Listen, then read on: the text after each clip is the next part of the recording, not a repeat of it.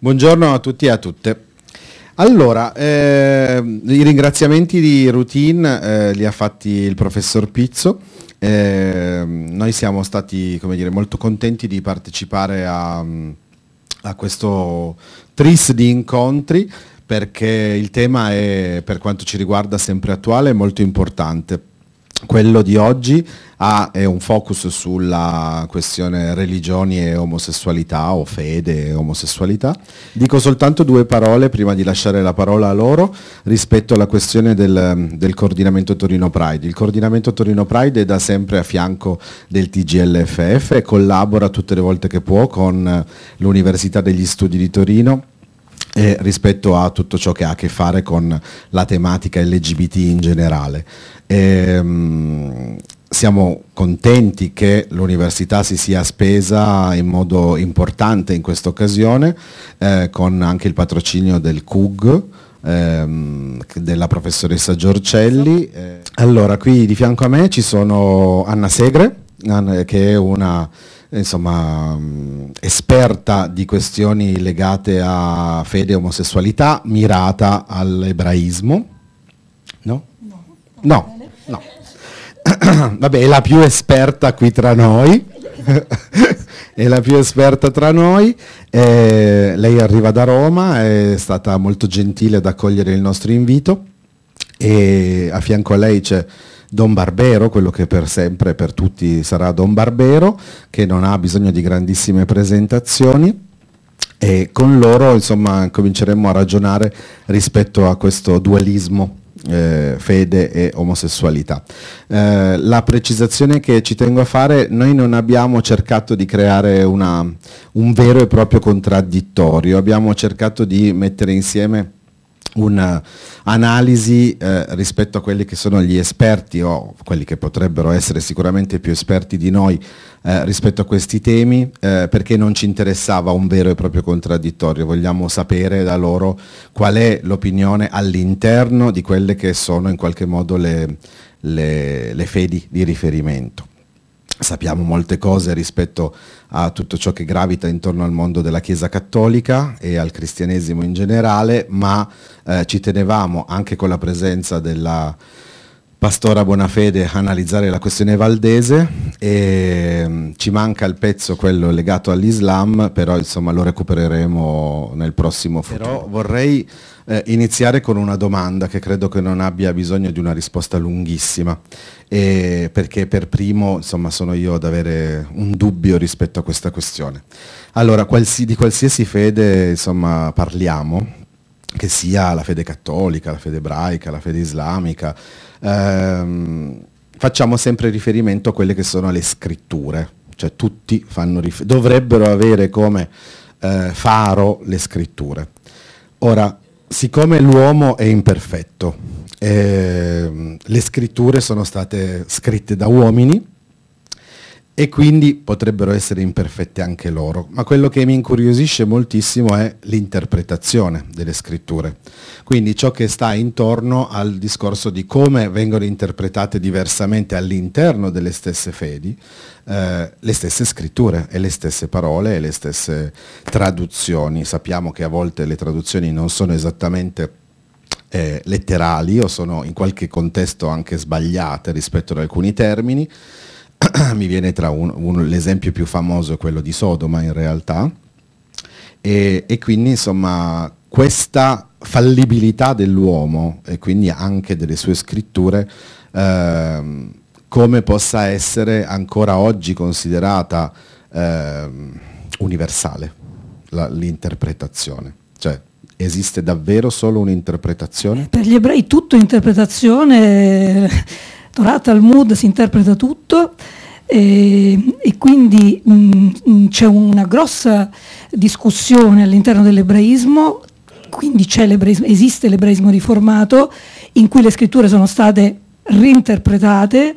E ne volevo anche parlare in particolare durante il mio intervento. Eh, sì, eh, quello che dici tu è, è così, bisogna poter interpretare, la scrittura non è assoluta, certo c'è sempre eh, lo zoccolo duro che lo ritiene assoluto, ma eh, all'interno dell'ebraismo, come si sa, tre ebrei, quattro idee, quindi non, non è eh, c'è, discussione, c'è discussione e negli Stati Uniti la maggior parte del, degli ebrei fanno parte dell'ebraismo riformato e quindi di un ebraismo che riconosce la possibilità alle donne di essere rabbino, di portare sefer, di fare minyan e eh, alle coppie, eh, alle copp- a qualsiasi coppia di sposarsi, quindi anche alle coppie omosessuali, di far parte della comunità come famiglie e, e di pagare le tasse come famiglie. Quindi tutto, tutto regolare. Eh, c'è discussione. Ma è la domanda più interessante questa. Meno che io ho preparato proprio un quarto d'ora e non voglio sottrarvi eh, del tempo per limitare questo primo approccio, sono perfettamente d'accordo con quello che dicevi, possiamo darci del tu, ma soprattutto sapete io sono da anni molto interessato all'utilizzo dell'Islam con le scienze storico-critiche e porterò specialmente gli ultimi studi che ho fatto in Francia rispetto all'islamismo e al cristianesimo. Eh, la scrittura non è sacra, perché è frutto di uomini, specialmente più che di donne, purtroppo, ed è tutt'altro che sacra. Quando l'hanno fatta eh, diventare sacra si è passato dalla testimonianza al dogma ed è scomparsa la testimonianza. Allora bisogna leggere contestualizzando, situando, interpretando, sapendo che l'interpretazione è un fatto storico, contingente, mutevole, plurale. Allora, se avrò poi tempo, vorrò documentare molto bene questa cosa, che è dentro, credo, le nostre tre tradizioni molto parallelamente non divulgata, perché sovente la vulgata è quella fondamentalista, non è tanto eh, l'ebraismo di cui si parli tu, che, di cui sovente si parla, no? si dà l'idea del fondamentalismo islamico, ebraico, cristiano. In realtà c'è una corrente fortissima di studi storici, critici, femministi, pluralisti, che sono una delizia, peccato che l'ignoranza prevale in molti casi. Mi fermo. Eh, allora comincio col dire che oggi è un giorno particolare perché oggi è 5 maggio Yom HaShoah, cioè è l'ultimo giorno in cui i campi di Mauthausen, gli ultimi campi sono stati chiusi, quindi in tutto il mondo si ricorda eh, la Shoah oggi. Comunque Ebraismo e omosessualità. Ebraismo e omosessualità come dire Anna Segre, sei nei guai. Sei femmina, ebrea e anche omosessuale, ce l'hai tutte. Se sei anche mancina ti scatta la, la pensione sociale. Sono anche mancina. Per l'ebraismo l'omosessualità è vietata, non giacerai con un uomo come con una donna, poiché ciò costituisce un abominio. Vietata ai maschi. Le femmine sono nominate, ma la stigmatizzazione è imparagonabile. Meglio che non facciate come le donne egiziane. Scatta subito una certa curiosità per queste usanze di 5.000 anni fa, che poi ho scoperto essere eh, matrimoni eh, con più uomini e anche matrimoni tra, tra donne, cioè sessualità tra donne e sessualità tra uomini. Vabbè, ma le donne, le donne forse non hanno una sessualità o forse sono costringibili o forse non esistono come diritti, o forse il fatto che non sprecano il seme. Fatto sta che anche nelle legislazioni non religiose inerenti alla repressione e persecuzione dell'omosessualità, quella maschile è sempre specificamente nominata, mentre quella femminile, disapprovata dalla morale e malvista comunque, è inclusa sempre di striscio, più sorriso di irrisione che violenza. I maschi sono puniti nella religione ebraica, perché letteralmente contravvengono in contratto con la collettività, la procreazione. La legge dice che il seme non si spreca, non ci si masturba, non si commette adulterio, non si hanno rapporti sessuali al di fuori della possibilità di concepire in modo proprio. Poi mi hanno ricordato eh, che comunque nell'ebraismo la sessualità è anche eh, per il piacere e questa cosa viene ricordata più volte, anche per il piacere, quindi l'importante è che tu lo faccia con tua moglie, però puoi fare tutto, non, non soltanto per la procreazione. Quindi mi è stato ricordato, eh, lo devo dire. quindi eh, non con un'altra donna che non sia nella posizione di, di, di, dichiarare di chi è il figlio. È molto importante nei patriarcati stabilire chi è figlio di chi, né appunto con persone dello stesso sesso, eh, cioè con altri uomini. Quindi, ecco, potremmo mettere l'omosessualità insieme all'adulterio e alla masturbazione. La legge è questa e dovrebbe essere punita con la lapidazione. Ma bisogna subito fare due precisazioni. Primo, sarebbe ipocrita oltre ogni confine di onestà intellettuale dire che omosessualità, masturbazione, adulterio, incesto e tutte, insomma, tutti gli abomini nominati sono la stessa cosa. È come paragonare peccati veniali guardati con indulgenza da famiglie e ambiente sociali, quindi dal peccatore stesso, e peccati capitali di cui vergognarsi e sentirsi colpevoli fin del, nelle parti più profonde di sé. Quindi anche se tutti e tre gli sprechi di seme sarebbero puniti con la lapidazione, dobbiamo riflettere su come vengono percepiti dai fedeli. D'altra parte, il fatto che vengano messi nello stesso contenitore di significato anche ci deve far riflettere. L'omosessualità nella legge ebraica viene considerata non tanto da un punto di vista morale, ma inserita in una sorta di economia della fecondazione. Non è punito il desiderio, sbagliato ma concepibile, bensì l'atto. E il secondo punto è che non si hanno notizie di lapidazioni per omosessualità né per adulterio o masturbazione dovesse preoccupare questo aspetto negli ultimi duemila anni. Ergo, se è vero che come in tutte le religioni monoteiste l'ebraismo punisce l'omosessualità, è anche vero che esiste un aspetto interlocutorio tra la riprovazione e la convivenza. La comunità tollera, chiude un occhio, finge che non ci sia il fatto in sé perché è una trasgressione in una religione di norme e ufficialmente, a richiesta, disapprova, perché la legge parla chiaro. Che potrebbe mai fare se si, se si parte dalla necessità di garantire il patriarcato e il sistema familiare? E potrebbe inventarsi l'ebraismo riformato, come dicevo prima, cioè ehm, rimettere in discussione tutto il ruolo della donna, come l'ebraismo riformato lo fa, rimette in discussione tutto il ruolo della donna e quindi eh, negli Stati Uniti c'è stata proprio una delibera eh, dell'Unione Mondiale per l'Ebraismo Progressivo che invita tutte le associazioni a promuovere ove possibile l'uguaglianza matrimoniale all'interno eh, del movimento e a unirsi con gli altri per sostenere la legislazione e per aiutare a garantire i diritti legali alle coppie gay LGBT di sposarsi civilmente e religiosamente e di garantire loro gli stessi diritti legali e coniugali in piena uguaglianza delle coppie eterosessuali, quindi c'è proprio una delibera a Gerusalemme. Queste sono le regole religiose, ma Anna Segre o chi per lei, come la mettiamo? Essere ebrea e omosessuale, come dicevo all'inizio, è una doppia stigma si sommano due debolezze, l'essere ebreo, cioè altro dalla maggioranza religiosa, e l'essere omosessuale, cioè altro dalla normalità di accompiamento consentito. Questa alterità crea un circolo vizioso di autoghettizzazione e esclusione, un'escalation di misconoscimento e aggressività, di paura e presunzione di essere odiato, tali da ingarbugliare la comunicazione da entrambe le parti, ma perché metterla alla pari? Non è alla pari. I più numerosi fanno del numero la loro forza e lo sappiamo. Essere ebreo e omosessuale deve far guardare con attenzione le date del processo a Dreyfus e a Wilde, un solo anno di distanza, coincidenze non credo. Deve far guardare con gli occhi bene aperti eh, quali sono le prime misure dei totalitarismi rispetto alle, alle categorie sociali da reprimere sia il regime fascista in Italia sia quello nazista in Germania presero misure su omosessuali ed ebrei, leggi, arresti, deportazioni e confino contemporaneamente. Ebrea e omosessuale vuol dire che mi porto dietro un'appartenenza minoritaria organizzata di famiglia, che sono nata ebrea, appartengo a una comunità con cui condivido i valori e che mi copre le spalle. E quando mi sono confessato omosessuale la mia coscienza era già sveglia, quando ho capito di preferire le femmine piuttosto che i maschi.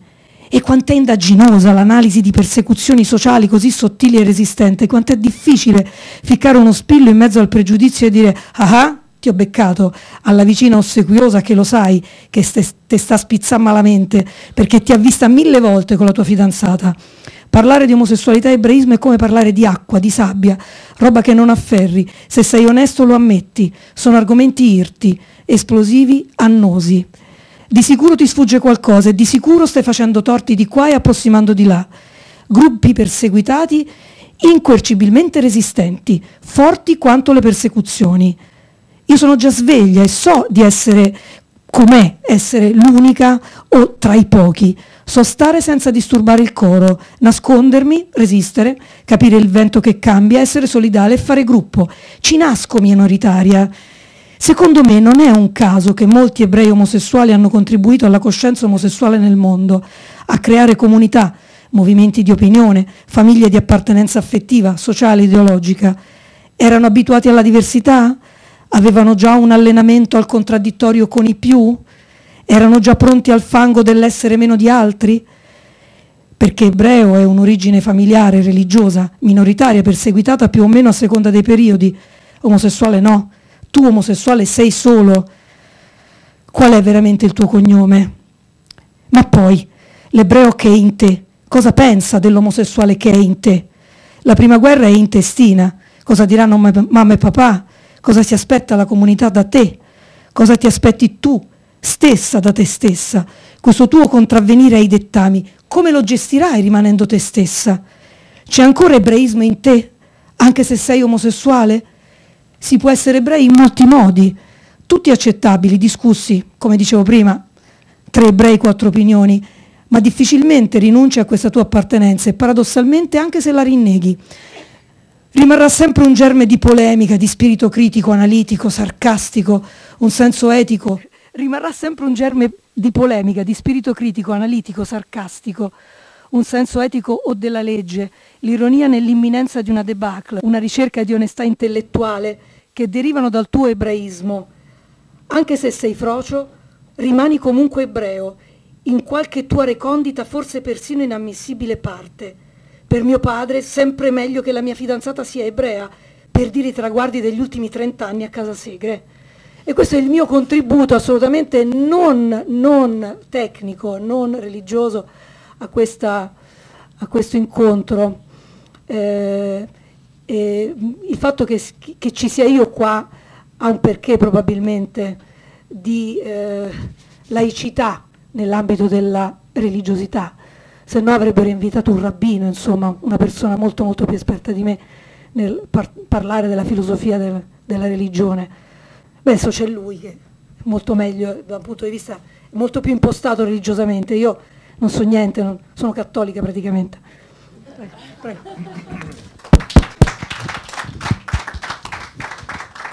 La cosa che però si evince ed ha colto nel segno Anna Segre rispetto a, alla questione è che questo è davvero un incontro sulla laicità, non è un incontro sulla religione e, eh, e come le fedi si rapportano al, diciamo, all'omosessualità però l'unica cosa che a me viene da dire è che dalle parole di una donna ebrea e omosessuale la visibilità delle persone omosessuali resta l'elemento scatenante di, uh, delle reazioni perché mentre prima venivamo in qualche modo tollerati uh, nel nostro silenzio oggi le aggressioni e le, mm, le, le, reazioni delle varie fedi nei nostri confronti sono molto più aumentate, sono molto di più di quanto non fossero prima perché per fortuna la comunità LGBT è molto più visibile.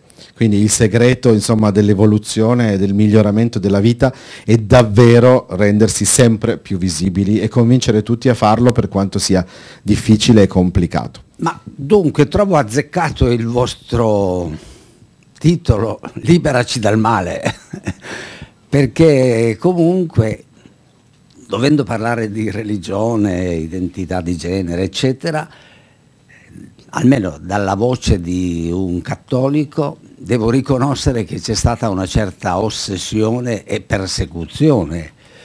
Ma io su questo non mi dilungherò perché chi le ha patite le conosce eh, abbiamo troppo letto e direi molto riflettuto.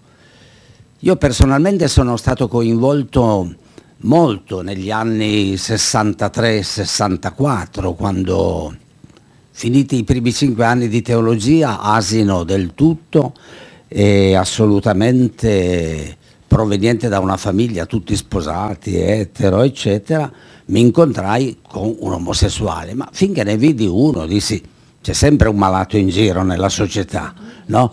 c'è sempre un'eccezione. Però me ne portarono 10, 20, 50, ero assistente diocesano, insegnante in seminario, capii che dovevo rivedere un po' le mie visioni del mondo.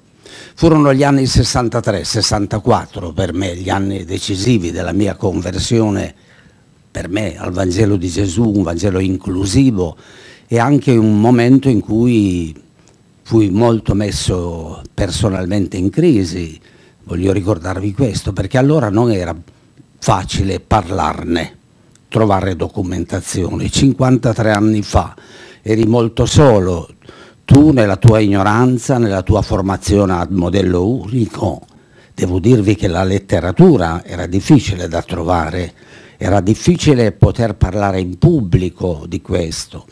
Ma che cosa avvenne? Che tra gli errori e gli orrori eh, in cui tutti ci siamo un po' imbattuti e con i quali abbiamo fatto conto, è maturata in me una lenta riflessione che essendo stato guarito dal mio pregiudizio dagli omosessuali alle lesbiche, che incontrai allora già decine, a centinaia, ho detto finché avrò fiato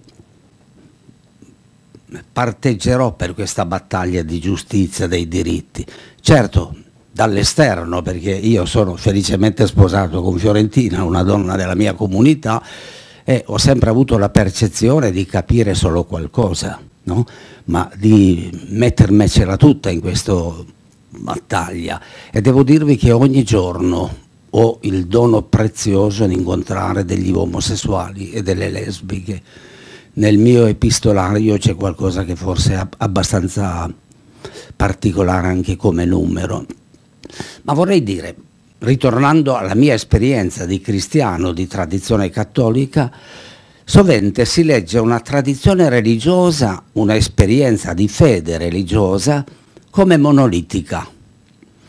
È comodo per l'istituzione dare questa versione, ma è anche comodo come messaggio da trasmettere alle persone. Questo è il cristianesimo, questo è il cattolicesimo, questo è l'Islam, questo mi capite? È molto facile. Sia la dimensione diacronica, quella sincronica, non autorizzano questa lettura della realtà, perché se passeggio dentro la storia della mia Chiesa trovo delle tradizioni ribelli assolutamente reali. La ricerca storica è un approccio rigoroso alla realtà, dicono il plurale, la contraddizione, ovunque si viva. Ma la seconda riflessione è che la stessa semantica e l'epistemologia vedono fenomeni di profonda scorrettezza. Eh, parlo specialmente per la Chiesa cattolica. Immaginate, i giornalisti, faccio un piccolo appunto, parlano di Chiesa in Italia come la Chiesa fosse la Chiesa cattolica, ma usano la parola Chiesa non accorgendosi che intendono Chiesa gerarchica io sobbalzo ogni volta perché per me la parola chiesa cristiana vuol dire le chiese. Mi capite? La mia è una delle chiese cristiane. Secondo, per me chiesa non equivale a Vaticano e gerarchia, ma equivale a popolo di Dio organizzato in una tradizione particolare.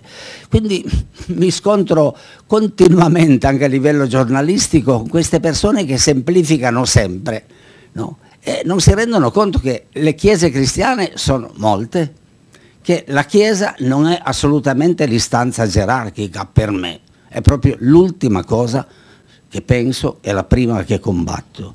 La terza mh, osservazione che vorrei fare è il dolore del vedere come si sacralizzano i testi, come se essi, le scritture, fossero la parola di Dio tout. Eh, bisogna porre alla Bibbia come al Corano le domande giuste.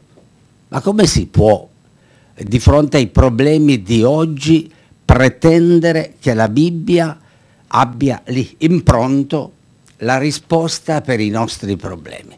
Estrapolare delle risposte da un testo che non è la soffiata di Dio, la telefonata di Dio, ma che la testimonianza patriarcale prevalentemente di una fede vissuta in una particolare, contingente, datata cultura.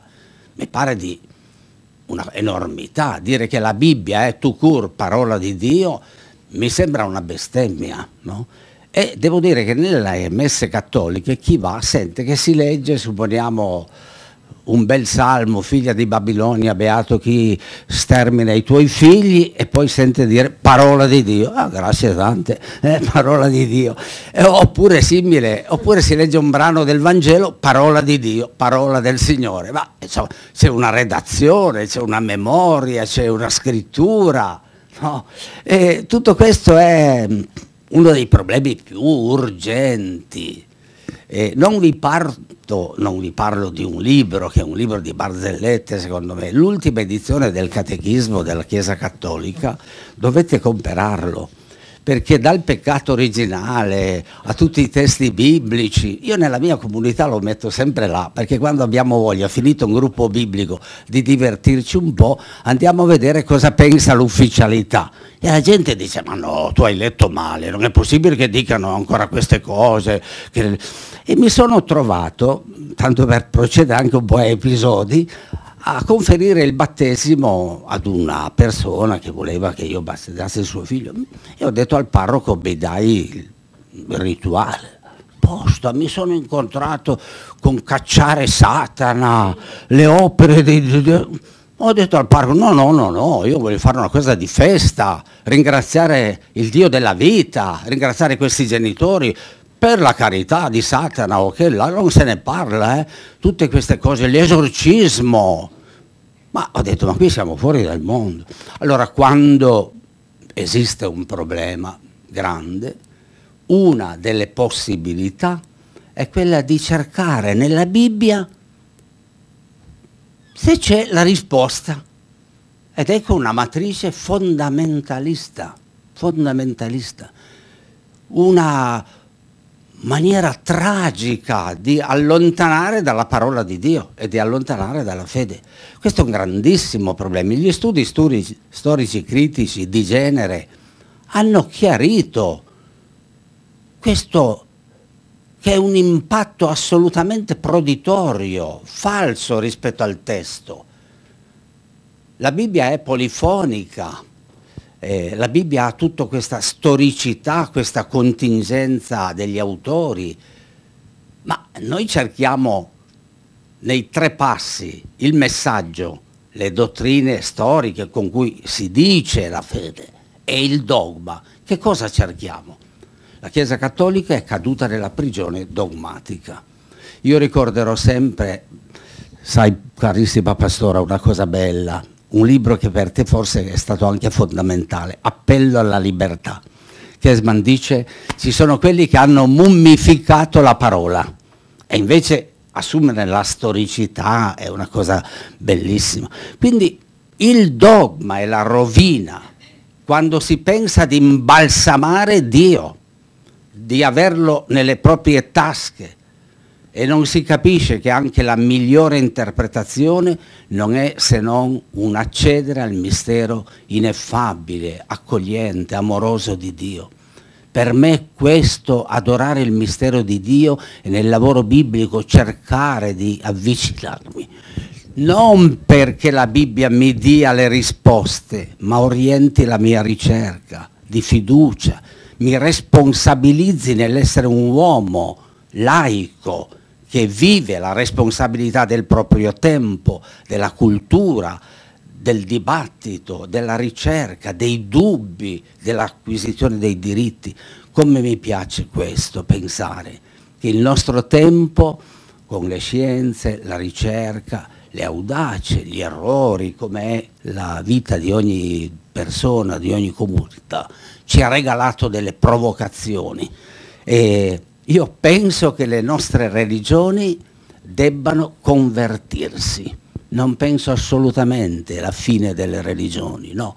Penso che l'ebraismo, eh, l'Islam, il cristianesimo, altre, siano in una fase di appello alla conversione.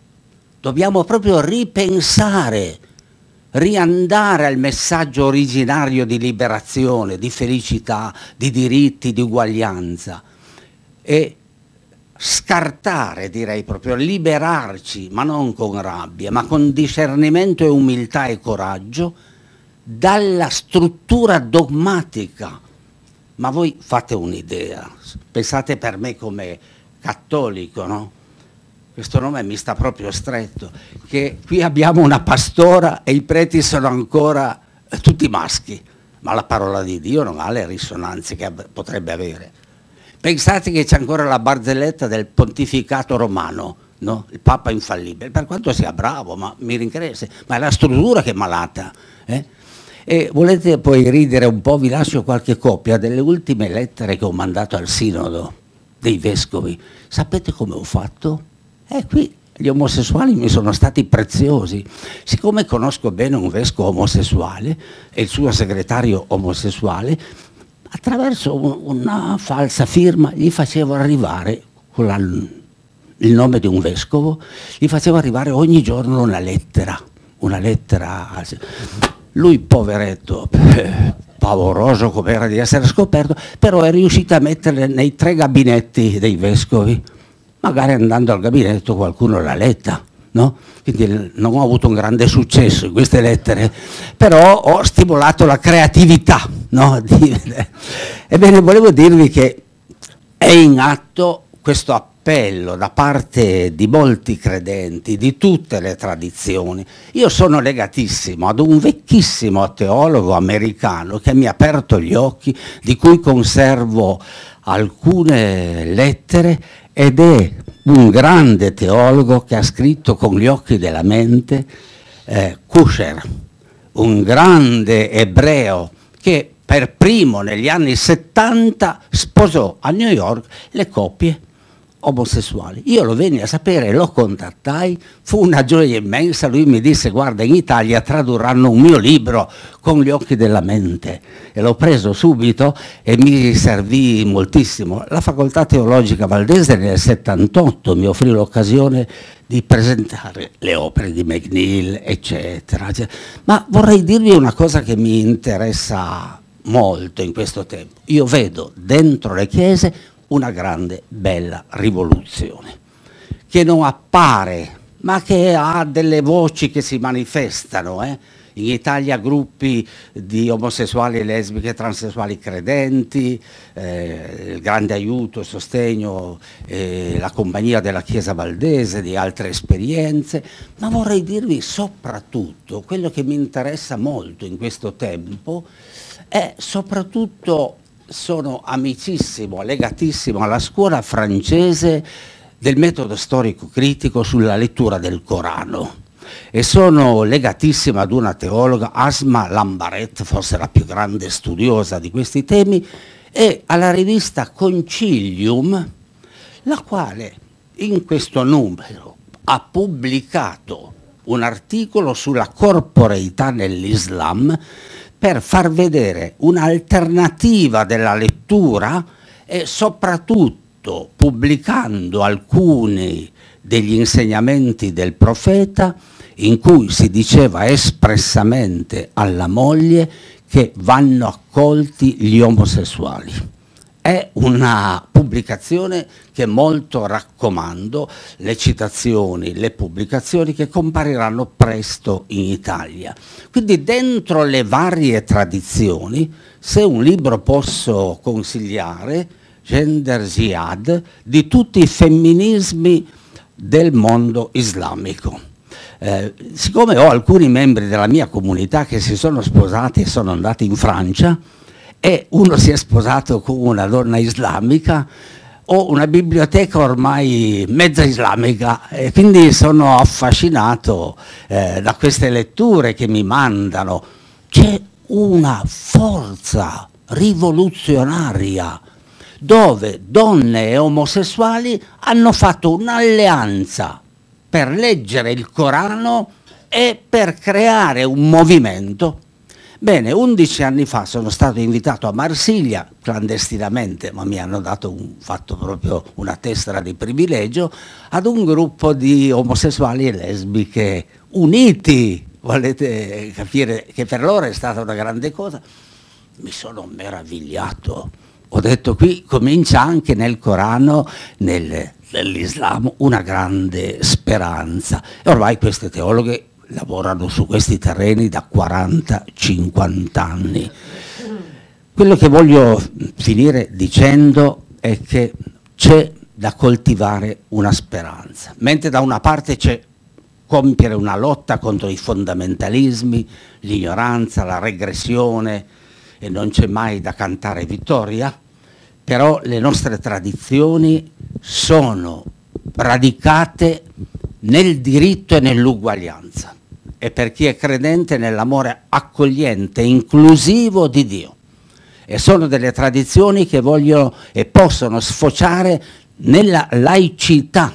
Ricordo un grande libro di un mio amico morto, eh, Giuseppe Barbaglio, La laicità del credente. Quando il credente non scende nella vita a declinare, coniugare laicamente il messaggio centrale della sua fede, eh, annulla il suo messaggio. Io vorrei dire che leggo con piacere, sapete che nasce a giugno la prima facoltà islamica in Italia. Che belle cose, ma se ne parleremo ancora magari un po' domani. Ebbene, vedo dentro le nostre tradizioni, con tutte le contraddizioni, eh, vedo una grande speranza. Sarà che diventando vecchi si diventa ottimisti, vedrete voi. Si vede di più il rosa, i colori, si ama molto la vita perché si sente che alla fine io più divento vecchio, più cerco di calamitare le cose belle, le speranze, i sogni, i desideri, l'utopia. Poi so bene che bisogna camminare coi piedi per terra. Eh? Però credo che questa cosa sia bella. Lottiamo laicamente fino al matrimonio paritario, senza concedere nulla a chi vuole togliere questo diritto. Ma nello stesso tempo incoraggiamo ovunque ci sono germi di futuro perché il futuro sta un po' nelle nostre mani se ci crediamo davvero e se politicamente, culturalmente, diffondendo cultura, audacia, speranza, fede, fiducia, ci aiutiamo gli uni gli altri per qualche passo di responsabilità e di cambiamento. Grazie. Avrei da fare due considerazioni. Allora, eh, Don Barbero parlava della Bibbia o diciamo dei libri, dei libri considerati sacri, Ehm, come, non, non, come se non fossero la vera parola di Dio, perché come dicevamo prima i libri sono, scritti, sono stati scritti da uomini.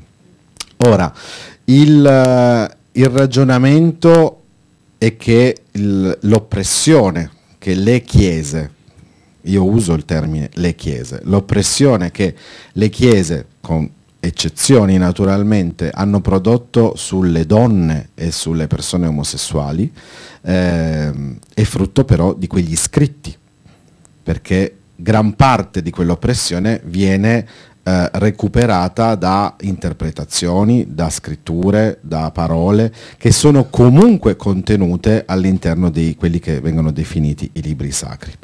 Una delle considerazioni che oggi eh, e, e quindi in questo contesto ovvio che le donne prima e gli omosessuali dopo in una unione poi successiva o in un tentativo di unione successiva eh, lottano tutti i giorni contro questo, questo, tipo di oppressione, perché le chiese sono veramente tantissime, anche all'interno del mondo cristiano sono tantissime, e quasi tutte considerano le donne, o consideravano, poi qualcuna si è riformata, eh, però quasi tutte consideravano le donne e soprattutto gli omosessuali come il male assoluto mi viene da pensare ai mormoni per esempio, quindi insomma che sono, magari in Italia non sono così numerosi, ma negli Stati Uniti erano e sono numerosissimi, anche loro hanno fatto un'evoluzione, a parte qualcuno, insomma, però tornando all'oppressione e arrivando alla pastora della Chiesa Valdese, eh, che ha celebrato il secondo matrimonio valdese italiano di due donne a Roma nel 2013 se non ricordo male. Uh, e parlando di matrimonio, perché prima parlavamo della questione del, delle unioni civili in discussione, insomma questo, questa situazione un, così un po' retrograda che ancora ci troviamo a, do, a dover discutere, uh, vi chiedo, c'entra anche moltissimo il potere da questo punto di vista, perché l'oppressione verso le donne e verso gli omosessuali è anche, come dire, ribadire e confermare un potere, un potere che è sulle persone e anche un po' sulle anime per quanto riguarda le chiese. Quindi, se io non ricordo male, però insomma i miei studi sono un po', un po antichi a questo punto, eh, se io non ricordo male, il matrimonio come sacramento per la Chiesa cristiana, per la Chiesa cristiano-cattolica, è arrivato nel XII secolo, perché nella Bibbia non si fa cenno al matrimonio come sacramento. E per Bibbia intendiamo l'Antico Testamento, che comunque è comune anche a tutto l'ebraismo. Quindi il sacramento, quello che oggi noi stiamo discutendo, tenteremo di discutere aprendo un dialogo anche con la Chiesa Cattolica e con le gerarchie cattoliche, che in alcuni casi ci è proibito fondamentalmente, è come un uh, meccanismo uh, come quello di rendere sacro uh, il matrimonio possa essere arrivato 11 secoli dopo la, più o meno 11 secoli dopo la scrittura delle parole di Dio. Ora, a questo naturalmente la risposta è un po' scontata. Il, la domanda che mi viene da fare è sempre la stessa. In, per tutto quello che a me è dato sapere, in tutte le fedi, in tutte le fedi, la figura di Dio è una figura di amore, o dovrebbe essere una figura di amore, di amore assoluto. Ora, come si può immaginare che i eh, rappresentanti di quel, di quel, Dio, lo dice un militante omosessuale eh, che non ha avuto il dono della fede, ecco, però com'è possibile che quell'amore assoluto venga rappresentato con l'odio da parte dei suoi rappresentanti sulla terra? E questa è una domanda che va oltre tutte le questioni teologiche, secondo me era, era rappresentata solo dal potere. Però insomma, siccome la pastora ha celebrato il secondo matrimonio valdese, il secondo matrimonio eh, egualitario, quello che oggi chiameremo matrimonio egualitario, se ce l'avessimo nel 2013, lasciamo la parola a lei che ci racconterà la sua esperienza. Grazie, io sono molto felice di essere stata invitata a questo congresso, convegno, perché credo che sia uno spazio di, di libertà, di riflessione, di serietà che purtroppo è un po' confinato nel, nel cuore, del, diciamo, nel cuore ba- basso dell'università, anche se la sala è molto bella, però per arrivarci diciamo, che senza guida è un po' difficile. Allora, eh, purtroppo io non ho celebrato il secondo matrimonio valdese o come vogliamo, ho, ho semplicemente celebrato la seconda benedizione di unione di due eh, sorelle lesbiche della Chiesa Valdese perché il matrimonio non c'è eh, non c'è nessuna, non è riconosciuto dallo Stato e dunque non, non è, nel senso che tra l'altro per i valdesi eh, com- comunque il matrimonio è una, non è un sacramento, quindi è un atto civile, un atto pubblico e quindi esiste solo il matrimonio eh, fatto davanti alle autorità civili di, di fronte allo Stato e noi poi possiamo eh, in chiesa, pregare per gli sposi, riconoscere una, la benedizione di Dio su di loro. E quindi abbiamo esteso con una certa fatica, a dire la verità, perché non sono tutte rose e fiori neanche nel protestantesimo da questo punto di vista, nel 2010 abbiamo nel sinodo del, della Chiesa Valdese Metodista del 2010 fatto un atto che ho portato di apertura alle benedizioni eh, delle coppie eh, gay e lesbiche.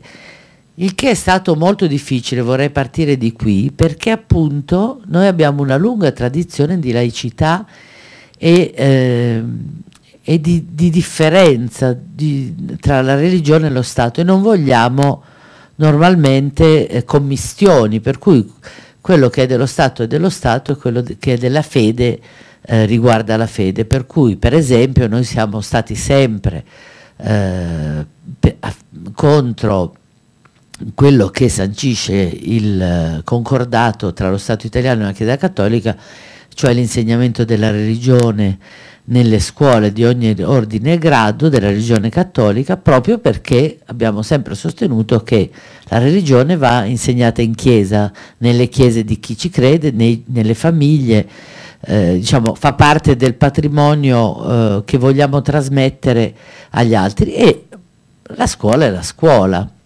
Ora, da, eh, negli ultimi 40 anni è molto cambiato tutto questo, quindi probabilmente la scuola dovrebbe attrezzarsi con un insegnamento del fatto religioso, della storia delle religioni, dell'influenza della religione nella cultura, dalla letteratura al cinema eh, è, è, fortissimo, però diciamo, per spiegarvi come è stata la nostra posizione. Quindi per la prima volta abbiamo discusso molto, è stato un sinodo molto difficile perché si diceva ma se noi apriamo alla benedizione delle eh, coppie omosessuali, poi che facciamo di quello che noi abbiamo sempre detto, e cioè che i nostri atti pubblici sono di fronte allo Stato e poi preghiamo. Allora adesso, e infatti adesso sta arrivando, se ci sono delle coppie eterosessuali che non vogliono sposarsi, non, non ritengono che il matrimonio corrisponda a loro, ma vogliono una benedizione della Chiesa per la loro,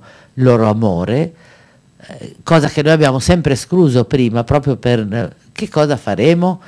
Visto che non si può discriminare poi le coppie eterosessuali avendo aperto. Quindi adesso questa è la questione che noi stiamo trattando, che dovremmo trattare perché allora capite che si ribalta tutto e, e, quindi questa è una bellissima cosa perché vuol dire che finalmente abbiamo un nuovo punto di vista da cui rileggere anche le nostre tradizioni. Allora nel protestantesimo, se posso fare una brevissima storia, questa questione, diciamo, nel, in seno alle chiese protestanti italiane, alla Chiesa Valdese in particolare, sono una trentina d'anni che seriamente si affronta l'argomento, non di più, quindi poco, molto poco. E, e sono una decina d'anni che ci sono dei documenti un po' eh, seri su questo tema. Ci sono stati gruppi di lavoro, ci sono state commissioni, eh, però il problema grosso in seno al protestantesimo era esattamente la parola di Dio. Siccome il protestantesimo si è sempre caratterizzato come il popolo della Bibbia, intendendo per Bibbia primo e secondo testamento, e la Bibbia è l'unica, autorità eh, nella fede, nel senso che appunto non c'è gerarchia, non ci sono, do, non ci sono eh, non c'è la tradizione della Chiesa in senso autorevole, anche se poi naturalmente i nostri padri, che sono i riformatori, vengono molto utilizzati. Allora, la, eh, la riforma ha allora, due cose. Uno, la riforma protestante del Cinquecento ha abolito ovviamente il, eh, il clero e tutti gli ordini monastici ha, con eh, con l'idea forte che eh, la, chiesa, diciamo, la vita della fede è una vita eh, consacrata ma laica e quindi va vissuta nella condizione eh, della vita di tutti e il matrimonio era per eccellenza eh, la condizione di, di, vita pubblica, diciamo, e quindi il, ognuno doveva sposarsi perché quello era la sua responsabilità, era avere una famiglia, avere dei figli, rispondere eh, del, della propria vocazione anche in quel quadro e compresi i pastori che hanno, anche se hanno un momento di consacrazione, rimangono laici e dedicano la loro vita come, diciamo, come un insegnante nella scuola, hanno i titoli perché hanno studiato, hanno fatto gli esami, hanno fatto, preso la laurea, hanno studiato in Italia e all'estero e quindi hanno i titoli per essere abilitati al ministero pastorale, ma rimane sempre un ministero laico. Allora, questa questione del matrimonio e il matrimonio biblicamente fondato, nell'unico versetto che c'è, ma insomma, eh, Genesi è il grande fondamento del, del matrimonio secondo la lettura eh, di ebrei e cristiani, quindi il fatto di, eh, del, dell'incontro tra uomo e donna, della diversità dei generi in vista della procreazione e con la benedizione di Dio. Allora questa, questo fatto ha costituito il, direi, il freno maggiore nella comprensione, eh, nel, per cui l'apertura verso le persone omosessuali nella Chiesa è venuta prima come apertura verso gli emarginati, i minimi, eh, il discorso di Gesù nei confronti dei peccatori, delle, eh, delle prostitute, delle persone emarginate eh, all'inizio, diciamo, nella, nella fede eh, in cui Gesù opera e allora diciamo questo è un discorso che si capiva bene. Quando c'è una persona emarginata bisogna vincere l'emarginazione. Ma questa è stata la strada alla quale siamo arrivati a una nuova comprensione eh, teologica anche delle scritture e dove finalmente attraverso molte commissioni anche di studio biblico, si, si è, che adesso no, non, vi, non, vi, tedio, però si è riusciti a, a, leggere il libro di Genesi come il libro della eh, alterità, per cui eh, di fronte a Dio eh, le persone, sia i due generi, ma, ma anche ogni persona è eh, è altra rispetto all'altra, allora l'unione di due alterità di fronte a Dio crea comunione. Questa è la sintesi di, eh, di 30 anni di, di, riflessione biblica. Allora siamo, eh, questi due canali si mantengono, sono rimasti aperti, cioè da un lato l'accoglienza delle, di tutte le diversità, diciamo la conciliazione, la riconciliazione fra, eh, fra diversità eh, considerate ostili, per cui eh, io vi, vi, posso garantire che effettivamente la riflessione di, eh, delle donne e eh, la riflessione in campo omosessuale sono andate di pari passo. Eh, le donne è finita un po' prima ma non è mai finita. Uh, io sono stata, nella mia vita mi è capitato di essere la prima in qualche cosa, in, in un paio di cose. La prima volta che è stata eletta una pastore in una chiesa autonoma, le chiese valdesi sono, siamo quattro gatti, ma insomma in questi quattro gatti ci sono quelli un po' più grandi e quelli un po' più piccoli. Allora la chiesa di Roma è una chiesa autonoma perché ha più di 150 membri all'epoca ne aveva 400 e quindi si elegge il pastore. Invece le chiese piccole lo ricevono dall'amministrazione della Chiesa, dal, dal governo della Chiesa. Quindi si doveva votare questa cosa. Io con mille problemi, difficoltà, ero giovane, avevo un bambino piccolo, quindi mi sentivo molto inadeguata, però la Chiesa mi chiese di candidarmi e quindi alla fine mi candidai. E io ho letto, i pastori stanno in carica sette anni e possono essere rieletti per altri sette e poi se ne devono andare. Allora io non ho mai letto prima del rinnovo della mia elezione il verbale della prima assemblea che discuteva se eleggermi o no, perché volevo rimanere imparziale nei confronti della comunità, mentre se avessi letto un intervento particolarmente sgradevole probabilmente non avrei avuto la libertà ma li ho letti dopo però.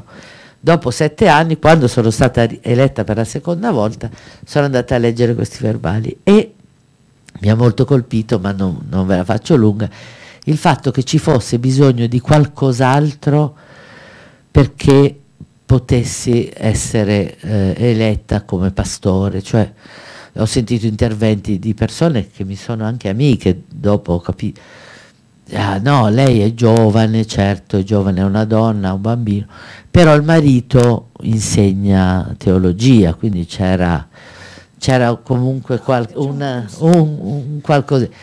È giovane, eh, però è laureata anche in filosofia, quindi diciamo la cultura, come se ci fosse bisogno per fare un, un pastore di almeno due o tre altre cose che i maschi non avevano bisogno di dimostrare per poter essere normali, cioè essere, accedere a un, un, ministero avendo i titoli per farlo, ci voleva qualcosa in più.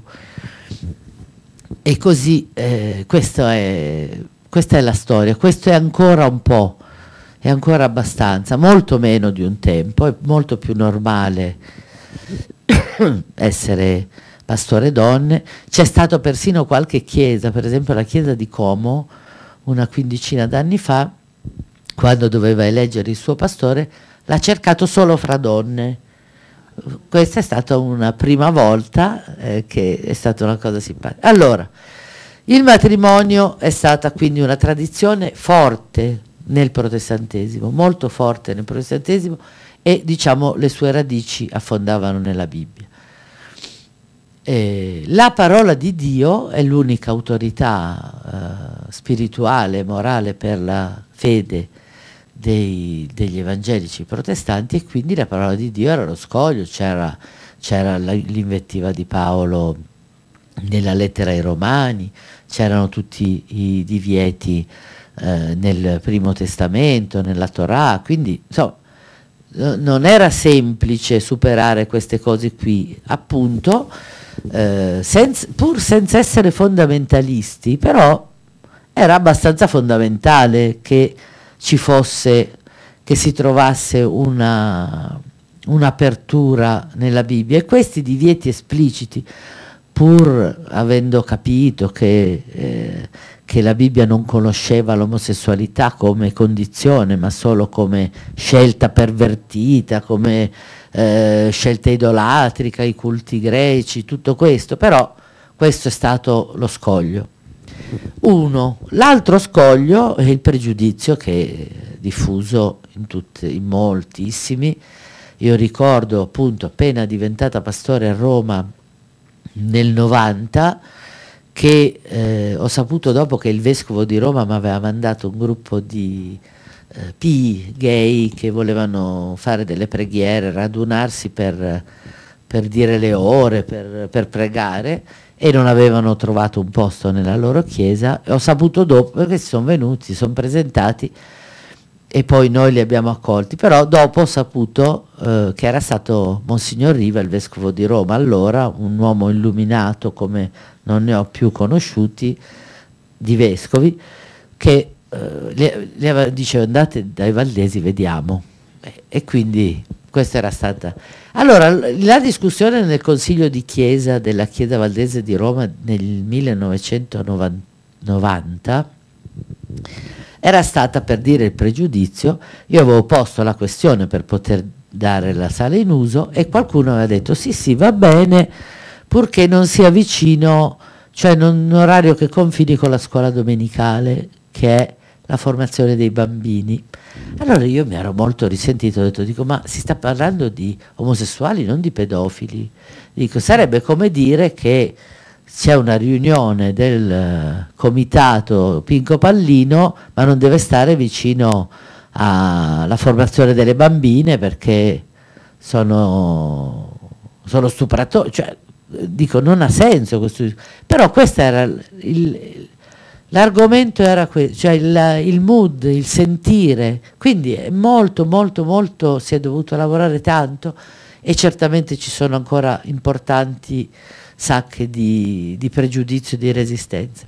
Detto questo però alcuni passi sono stati fatti e cioè la considerazione che Cristo ha accolto noi e, noi dobbiamo, e, e quindi dobbiamo accoglierci gli uni gli altri, come dice l'Apostolo Paolo, che ne ha dette anche di, di buone, di cose, e questa è stata la partenza di ogni cosa. Io vi posso leggere un documento del 2007 che è eh, il sinodo congiunto Valdesi, Metodisti e Battisti, che è un'altra chiesa protestante, che è una specie di confessione di fede, vado molto veloce, eh, l'assemblea riunita crede in un Dio d'amore che per primo ci ha accolti chiamandoci ad una vocazione all'accoglienza nello spirito del passo di Romani che dice perciò accoglietevi gli uni gli altri come anche Cristo vi ha accolti per la gloria di Dio. 2. Crede che l'essere umano sia fondamentalmente un essere in relazione con Dio e con il suo prossimo e che la relazione umana d'amore vissuta in piena reciprocità e libertà sia sostenuta dalla promessa di Dio. Esprime apprezzamento per il fatto che molte chiese locali, associazioni regionali battiste, circuiti valdesi e metodisti abbiano affrontato sulla base del documento prodotto dal gruppo di lavoro Fede e Omosessualità incontri congiunti il tema dell'omosessualità serenamente senza preclusioni e pregiudizi. Mentre confessa il peccato della discriminazione delle persone omosessuali e delle sofferenze imposte loro dalla mancanza di solidarietà, condanna ogni violenza verbale, fisica e psicologica, ogni persecuzione nei confronti di persone omosessuali. Invita tutte le credenti e tutti i credenti a sostenere quelle iniziative tese a costruire una cultura del rispetto, dell'ascolto e del dialogo, invita le chiese ad accogliere le persone omosessuali senza alcuna discriminazione, invita le chiese nell'ottica di uno Stato laico a sostenere e promuovere concretamente progetti e iniziative tese a riconoscere i diritti civili delle persone e delle coppie discriminate sulla base dell'orientamento sessuale. Auspica che il confronto e la riflessione, informati ad una lettura approfondita ed esegeticamente attenta della scrittura, proseguono ancora su, nel futuro partendo dai, dal riconoscerci sorelle e fratelli nella comune fede in Gesù Cristo. Vedete che è richiamata la scrittura, l'esegesi, cioè il fatto che c'è una distanza tra la biblioteca che, che è la Bibbia, che eh, trattiene circa 600 anni di, di storia e di, di, testi scritti, a noi, quindi però per noi la Bibbia è parola di Dio, cioè rimane il, il, il luogo in cui cerchiamo l'orientamento senza fondamentalismi, sapendo che bisogna leggere la storia, studiare i testi criticamente, però eh, è molto importante che noi cerchiamo le radici della, dell'accoglienza reciproca, del rispetto profondo, e ci sono,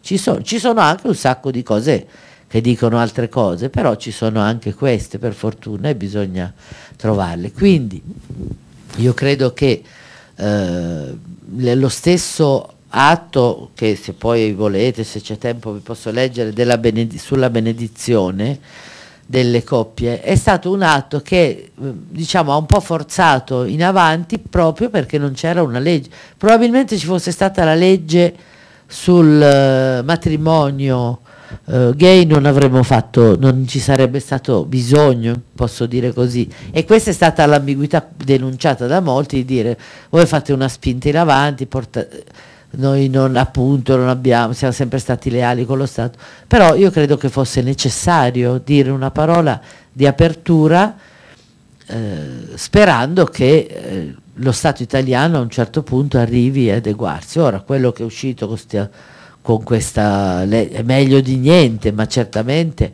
tutto il dibattito sulle adozioni è stato veramente umiliante, umiliante, brutto, perché appunto pieno di, di riproposizioni di pregiudizi vecchi che però albergano ancora molto nella società eh, civile italiana e che quindi basta stuzzicarli che ritornano fuori in modo orribile. Devo dire anche che molta della, e, e mi fermo, molta dell'apertura è dovuta all'avere eh, conosciuto persone omosessuali che a un certo punto sono entrate molte nelle nostre chiese, probabilmente c'era qualche chiusura più forte da qualche altra parte, per cui sono arrivati, eh, hanno fatto il catechismo, cioè noi facciamo una formazione, erano interessati.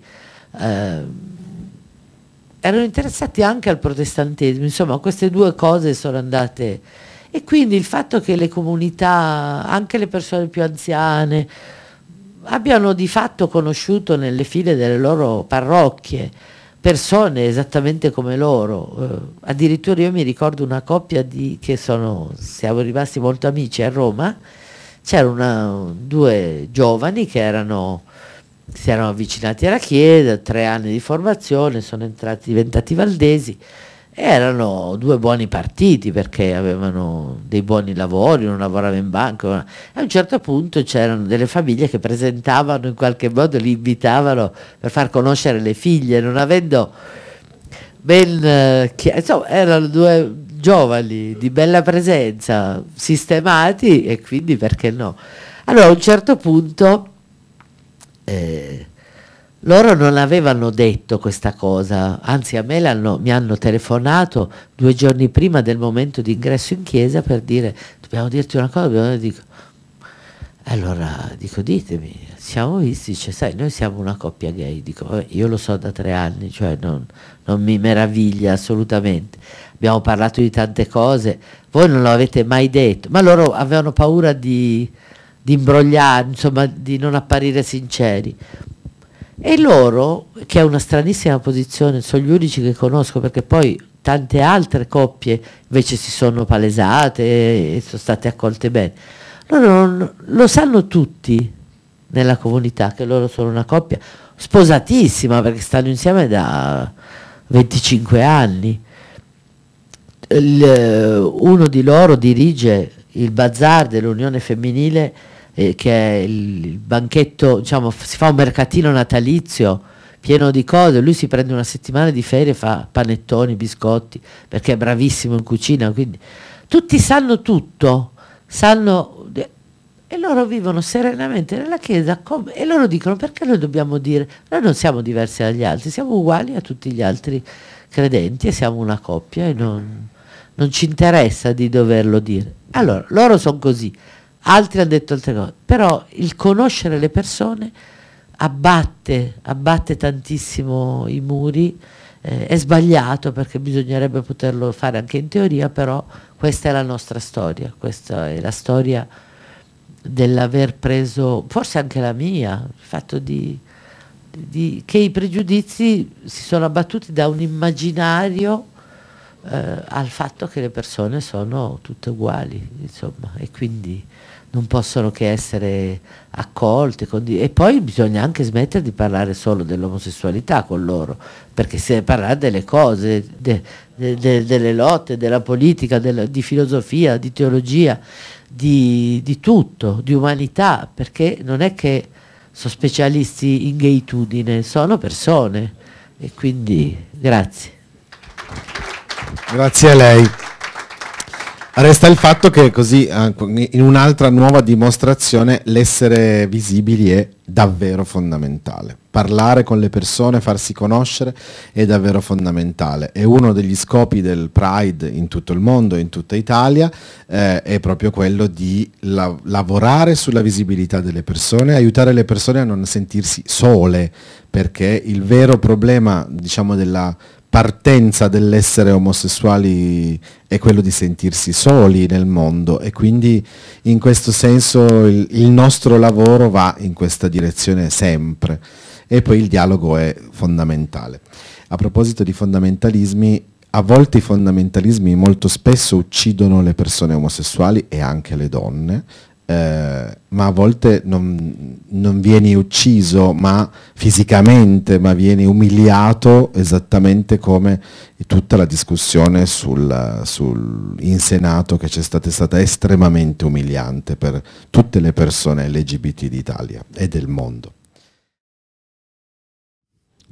Il discorso di quale sia il canone biblico anche negli ebrei è una forte discussione tra i samaritani, antica, no?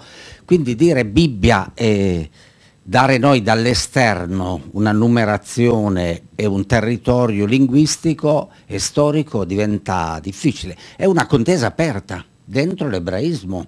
Eh, per esempio, tuttora io vedo, ricevendo alcune riviste da che l'altre, c'è proprio questa discussione no? che è bella Quindi il territorio biblico non è ancora ultimato, ma questo avvenne nel cristianesimo, ci vogliono secoli, fino al XVI secolo. E io ritengo che questa discussione sia anche bella, perché relativizzi un po' la testualità, non so come dirvi, non che la butta, la relativizzano. La seconda cosa è che io, per esempio, eh, venendo da una tradizione cattolica in cui... Eh, si diceva che il prete sposa, no? Eh, eh, quando raggiunsi 340 benedizioni di coppie omosessuali, pubblicai, ma perché volevo citarvi questo? Quindi ho presi poi. Io, la prima scelta fu il 4 febbraio del 78, quando dissi basta parlare, qui devo fare qualcosa, no? Devo... Ma sapete che mi sono rivolto a tutti gli editori cattolici, no? Perché volevo anche fare una prova e mi dissero Don Franco, troppo. Adesso ti abbiamo pubblicato qualcosa, va bene parlare, ma adesso fare questo. Ma voi non immaginate mai più chi è intervenuto, non faccio i nomi dei preti, preti molto celebri, i quali mi hanno preso per la cravatta e mi hanno detto, ehi là, parliamo anche noi dell'omosessualità, eh? ricordo quando ero a Genova, ma Don Franco, ti devi fermare. Io parlo a favore degli omosessuali, ma non do la benedizione di Dio e ho avuto i migliori amici più noti hanno, di Torino, di Genova, che mi hanno detto questo non si fa. E, e quindi tutto un discorso sotterraneo, ma dovessi documentarvi nomi e cognomi, è una storia interessantissima, perché non si toccano i sacri canoni, mi capite?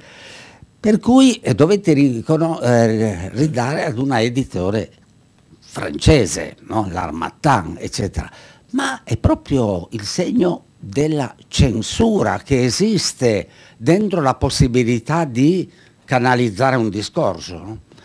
Invece ritornando al bell'intervento sul linguaggio, eh, io credo proprio che questo è un grande problema che riguarda non solo la Bibbia, ma riguarda la liturgia, la catechesi, la predicazione. Io credo che quando eh, celebro spesso ancora delle Eucaristie, delle messe anche nelle parrocchie e devo ripetere il credo niceno-costantinopolano, sono in difficoltà, ma non tanto pensando a Nicea-Costantinopoli, sono in difficoltà a pensare che lo ripetiamo noi oggi. Loro in, a quel tempo inventarono un loro modo, in modo creativo, anche in modo interessante, con la lingua di allora. Noi oggi ripetiamo dei cadaveri, mi capite in che senso? Linguisticamente dei cadaveri. Allora questa problematica del linguaggio mi interessa molto. Eh, lascio qui a qualche amico che si è interessato questo piccolo libro che ho scritto, Proposte al popolo di Dio. E mi interessa molto, mi interessa molto questo del linguaggio, perché quando sento alcuni, eh, per esempio, morto per i nostri peccati, Gesù, eh, o alcuni altri linguaggi, eh, Dio vero da Dio vero, cosa capisce la gente? Quello era un linguaggio che aveva forse un suo senso, ma oggi che senso ha? Quando parliamo di Satana ad ogni piè sospinto, no? almeno nella Chiesa Cattolica, la tribulazione, no? Quando, allora, la questione del linguaggio a me sembra talmente fondamentale che se non prendiamo sul serio le istanze critiche eh, della semiotica di oggi, almeno nel nostro Occidente, eh, non c'è ponte. La predicazione non comunica più, perché davvero alcuni linguaggi per una donna, un uomo adulto, consapevole, eh, sono dei linguaggi tramontati. Io che ho rispetto, quasi venerazione per i linguaggi della tradizione, non amo però il tradizionalismo e la forza di inventare nuovi ed sperimentare percorsi linguistici nuovi nella catechesi e nei linguaggi della predicazione la trovo decisamente interessante, una provocazione da accogliere. Sì, il linguaggio è davvero importante. Secondo me manca però un, un, un, tassello a tutto questo, nel senso che la liaison tra le chiese e il potere, perché questo in qualche modo manca. Quando la pastora prima diceva della loro contrarietà al, um, al concordato, per esempio, quello è sintomatico di un potere, il concordato, che i valdesi per esempio non hanno voluto.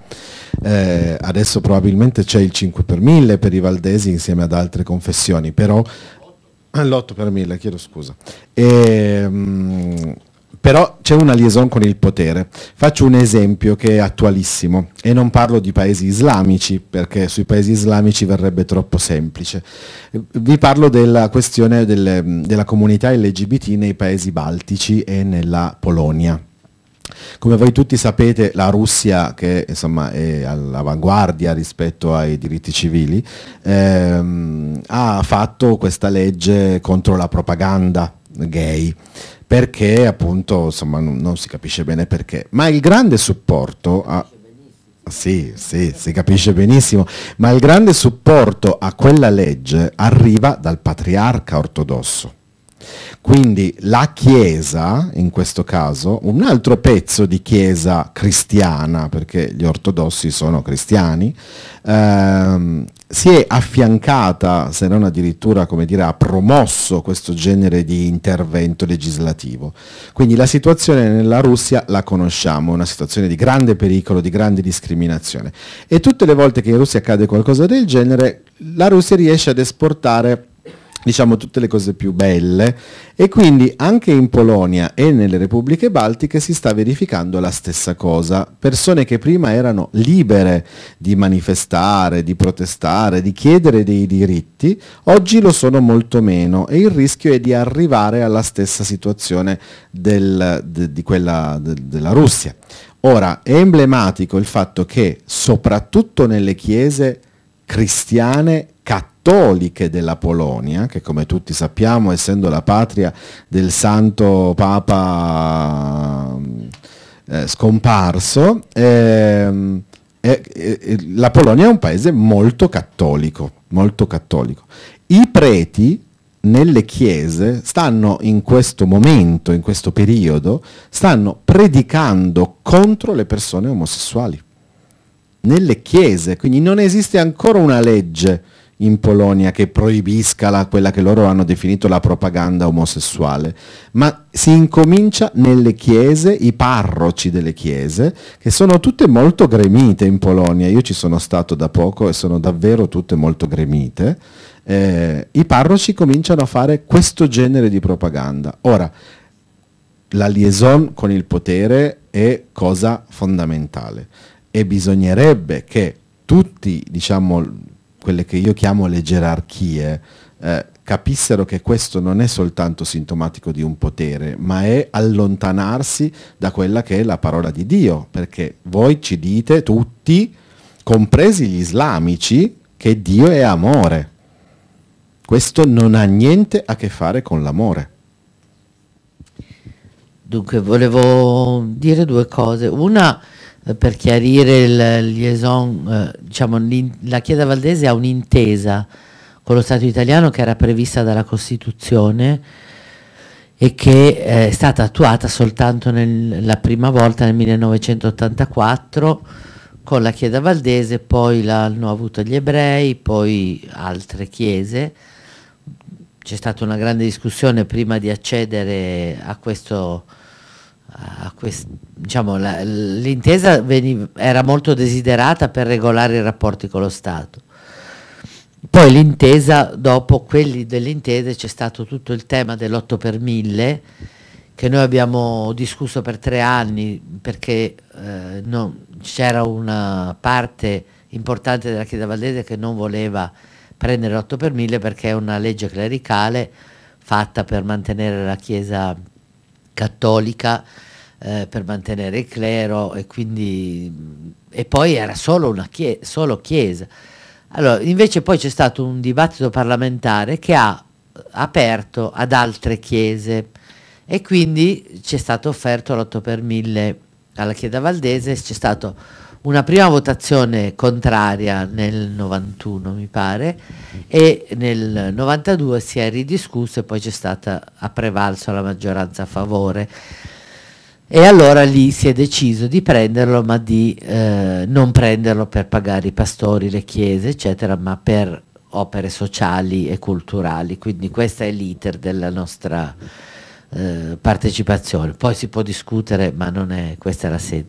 Invece sulla Bibbia io mi permetto di dissentire perché eh, nel, nell'ebraismo, cioè io non è che sia esperto, ho studiato ebraico per, per, studiare i testi, ma non lo conosco così bene, né conosco così approfonditamente la cultura ebraica, però eh, diciamo il, la, quello che eh, tu hai chiamato Bibbia è la Torah, cioè i primi cinque libri, eh, de, quello che poi viene chiamato la legge e quando si cita la Bibbia è la legge e i profeti, quindi queste due tradizioni, poi ci sono gli scritti, poi ci sono tante altre cose, però per noi è sempre stato un punto d'onore come protestanti di chiamare Bibbia tutto, eh, tutti i testi sacri, primo e secondo testamento, mentre sentivamo sempre chiamare dai cattolici Bibbia solo il primo testamento. Me, la Bibbia per noi è sempre stata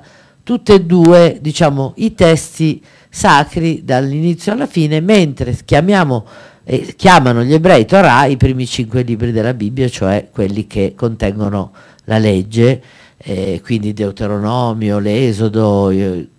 Poi ma guarda, Papa Francesco quando parla contro le armi, eh, contro la disumanizzazione, quando parla sinceramente, credo che non reciti di capitalismo, di, lo trovo veramente un fratello nella fede. Ma come sapete eh, io non sono gradito nella Chiesa perché sostengo che il Papa non è all'altezza di alcune situazioni che oggi l'Evangelo chiederebbe. Primo, rompere il concordato, denunciarlo. Basta, non sei un capo di Stato. Secondo, eliminare la struttura militare della Chiesa Cattolica. Ieri ho messo sul mio blog cosa prende il generale corpo d'armata. Lo scandalo, uno scandalo. Militarizzare il servizio pastorale. E poi, sulla posizione delle donne nella Chiesa, non avere pari opportunità di ministero, eliminare la struttura sacrale, sacrale, perché si, si deve passare dal sacerdozio gerarchico al pastorato, la scelta della riforma. L'anno prossimo faremo i 500 anni, credo che ne parleremo insieme di queste cose. Allora, ci sono gli omosessuali, le donne. Lui, eh, chi sono io per giudicare? è un atteggiamento simpatico, mi capite? Lo credo anche molto sincero, eh? molto sincero. Ieri è uscita in Vaticano una rivista mensile fatta, confezionata e scritta da sole donne, anche questo è interessante. Però ci vogliono dei nodi e tutti mi dicono, ma tu hai troppa fretta, sai ci sono i lupi vaticani, ma sì, certo che ci sono i cardinali, sono lupi vaticani feroci, perché poi ho scoperto che il lupo è più buono di quando non si pensi, quelli sono abbastanza feroci, eh? ma il vero problema è però che io mi ricordo eh, quando fui al primo processo ecclesiastico del 73-74, i cinque giudici, quattro ore per cinque sedute, e mi dicevano, tu devi dar tempo alla Chiesa. Gli omosessuali, magari, dico, dico mi, mi, può fare un'ipotesi? Per, per, Galileo ci avete impiegato 500 anni, ce ne vorranno, e gli omosessuali di oggi devo dirgli attendete 500 anni. Allora, io credo per due motivi. Primo, che una vera rivoluzione avviene nella Chiesa, dalla Chiesa, comunità, mi capite? Gente che laici, donne, uomini, e molti lavorano in questa direzione, l'attendismo di un rivoluzionario dall'alto. Questo, notate, non significa che io non valorizzo il messaggio sociale, umanizzante di Papa Francesco, lo, lo, lo vedo anche con voi, c'è stato un ecumenismo interessante no? di alcune cose belle, però su alcune questioni è inutile che dicano non è tempo, no, siamo già fuori tempo ma fuori tempo di secoli. Bisogna avere il coraggio anche di alcune rotture. Io dico questo con, tutta, eh, con tutto amore per la persona, ma sento l'urgenza, il regno di Dio è qui, mi capite in che senso? Cioè a, a Gesù avrebbero potuto dire attendi, no? Mi capite? Allora c'è il momento dell'attesa, ma c'è il momento della decisione. Ma scusate, nella mia comunità abbiamo fatto una riflessione durante il sinodo. Se quattro donne della mia comunità, quattro uomini della mia comunità, ma lo dico con umiltà, ma dico, si fossero radunati due giorni anziché 21 giorni, avrebbero preso delle decisioni ma molto più chiare, limpide coraggiose. Se ci fosse stato tu o tu della Gedo, se ci fossero stati alcuni... Ma, ma signori miei, è tempo di alcune decisioni. Allora apprezzo tutto il bene, ma non riposiamo sull'illusione papalina. Mi capite in che senso? Dobbiamo combattere nella società e nelle chiese per chi è credente perché non ci viene regalato. Perché l'istituzione, c'è un motivo, deve mettere in gioco se stessa deve veramente destrutturare un suo potere. E questo è il punto. Lui eh, su questo non c'è, non ha la cultura, non ha il coraggio, non ha la possibilità. Non credete che io voglia giudicare, ma è tempo di capire che bisogna cogliere la voce della strada, della coscienza, della scienza. Faccio un esempio solo, la famiglia. Ma quando sento che questi qui parlano della famiglia, io che ogni giorno vivo proprio in mezzo alla strada, eh, voglio dire, con molte comunicazioni quotidiane, ma loro non hanno l'idea di che cos'è la famiglia. Ma aggiornatevi. Io ho mandato ai padri conciliari i libri di Chiara Saraceno, ho detto leggete qualcosa la sera dopo cena, mettetevi a fare una qualche buona lettura. Non leggete la vita di Sant'Ignazio, leggete Chiara Saraceno. Allora ci sono delle cose che sono insopportabili. Le donne non possono sentirsi dire tu non sei abile al ministero, ma, ma siamo fuori dalla storia, nella magistratura, nelle professioni, nelle chiese cristiane che hanno... Qui c'è il grande problema però che il dialogo si fa facilmente con gli ortodossi, si fa meno facilmente con la riforma. Mi capite su questo? E devo dire, alludendo brevemente, che la teologia ortodossa, la cosiddetta sinfonia, la teologia della sinfonia, è esattamente questo, che si crea veramente un bel rapporto per tutta la Chiesa quando il potere politico e il potere ecclesiastico vanno a braccetto. Loro sì che si sposano, indissolubili. Questo è il grande problema che Putin sta incentivando e che le chiese ortodosse purtroppo non riescono a sciogliere. C'è una sinfonia matrimoniale, mi capite? A doppio mandato. Questo è un grande problema dell'ecumenismo cristiano. Dovessimo fare un concilio pancristiano, come da molte voci si sente, ci sono dei problemi. Però io voglio dire, eh, concludendo, il tempo è breve, apprezzo tutto il bene, ma non chiudo gli occhi di fronte ai ritardi storici che la coscienza nuova dell'umanità, che le scienze ci dicono, che i cristiani dentro le chiese, io ho fatto queste 20 lettere al concilio, ma sapete una delle prime lettere, l'editore cattolico mi ha detto, ah non te lo pubblico, eh, non te lo pubblico, me ne sono pubblicato mille copie, le sto diffondendo, vendendo più che un editore. Ho detto, ma guardate, cari padri conciliari, voi stasera dopo cena, eh, leggetevi qualche cosa un po' fuori, ma lavatevi le mutande, lavatevi eh, la camicia, stirate, cominciate a vivere quella che è la nostra umanità, lavate i piatti, le cose che facciamo tutti, tutti i giorni, che però sono un principio ermeneutico straordinario. Io trovo che l'ermeneutica della vita è un'ermeneutica alternativa a questa. Bisogna prima di tutto partire da questa umanità. Loro l'ha segregati, ma li vedete, tutti la Pompadour, parlano delle giovani famiglie tutti dai 70 agli 85, eh, ma, ma eh, abbiate pazienza, ci sono alcune cose che non stanno in piedi con la storia, dobbiamo avere un po' di ironia, un po' di ironia. Faccio un esempio, tutti i discorsi che si fanno nelle diocesi, separati e divorziati, dopo 50 anni hanno capito magari di invitare una separata o una divorziata, ma la vanno a cercare tra quelle penitenti, mi capite? Che fanno tutto un percorso, di... ma e facevamo riunioni di prete infinite tutti con o non sposati o con moglie nascoste. E ho detto ai padri, sinodali, io so che qualcuno ha la moglie nascosta, dico, voi dovete parlare della famiglia e tenete la moglie nascosta.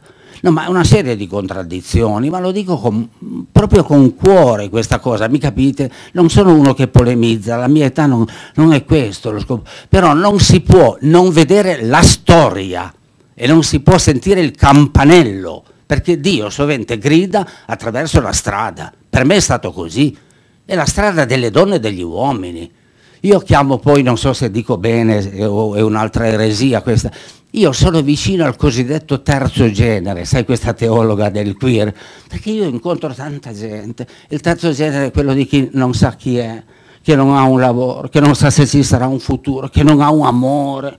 Vivo tantissime ore della mia giornata spesso e questo terzo genere, mi capite, che, eh, che sono uomini, donne, eh, sbandati, eh, persone. E dico, ma eh, questi qui sentono la voce, c'è bisogno di fiducia, di valorizzare. Abbiamo migliaia di teologhe, di donne, eh, di comunità animate da donne e non possono accedere al pastorato. Ma a me sembrano delle cose. Non voglio attendere, mi capite in che senso? Non sono un impaziente, ma la pazienza può essere dannosa. Eh? Eugen Dreverman, questo teologo cattolico, dice no, basta, eh, perché voi con la pazienza ci avete insegnato solo a soffrire, a sopportare. Se la pazienza è per costruire insieme adagio dei progetti è una bella virtù, ma altrimenti la pazienza voi la capite come sopportazione del vostro dominio e della vostra cecità.